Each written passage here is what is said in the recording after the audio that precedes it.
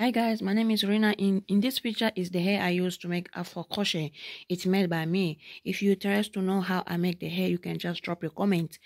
Thank you so much. Like, comment, share, subscribe, support your girl. Thank you. That's some of the hair. Crochet some hair and then you take the crochet hook, you put under the hair, you pull one hair and then you make a knot. Take the crochet hook put under the hair and then close the hook pull the hair make a knot that's it. Under the hair close the hook pull one hair and then make a knot.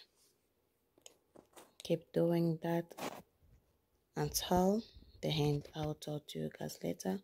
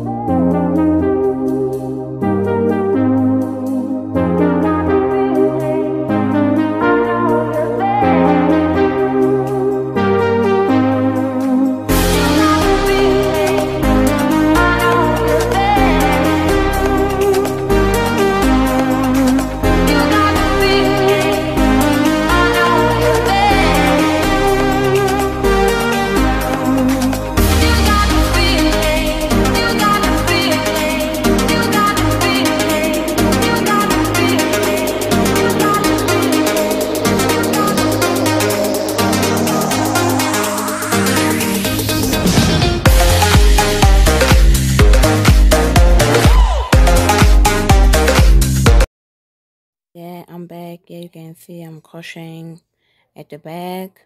You take this at the back i'm doing just the same like in front. And then you take the crochet hook you put under the hair.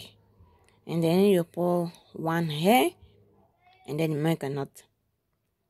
Make a put the crochet hook under the hair. You pull the hair pull one hair and then make a knot. At the back, it's just the same like in front. And then keep doing that on the middle side. On the middle side, you will do just like normal, like no normal crochet. You put the crochet hook under the hair and then you pull both hair out if I reach on the point that I will show you guys yeah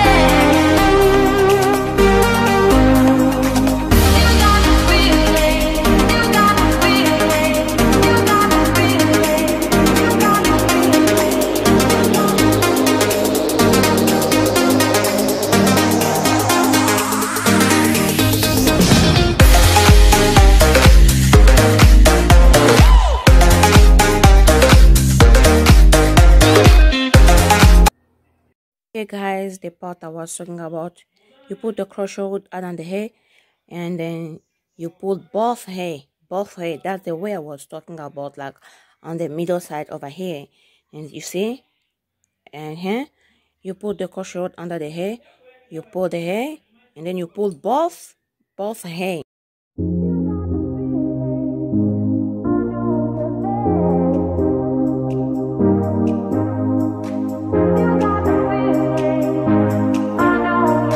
to to trim the some hair trim trim trim trim trim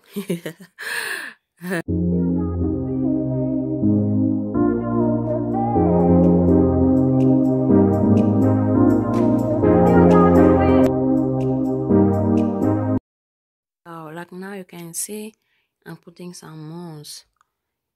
It depend depend on you if you like if you want to put moons or you can put water depend on you. But on this point I'm putting moons